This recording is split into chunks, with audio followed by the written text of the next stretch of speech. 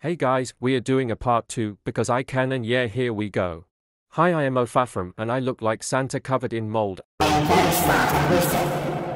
Hi I'm Elliot and I actually do shit now. I have issues with my eyeball parasite and must impress him because I have no dad.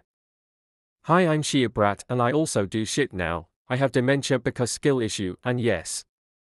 Hi I'm Green Bitch and I'm the eyeball parasite for a broccoli robot. I am the one that has a lot of lore that K desperately wants.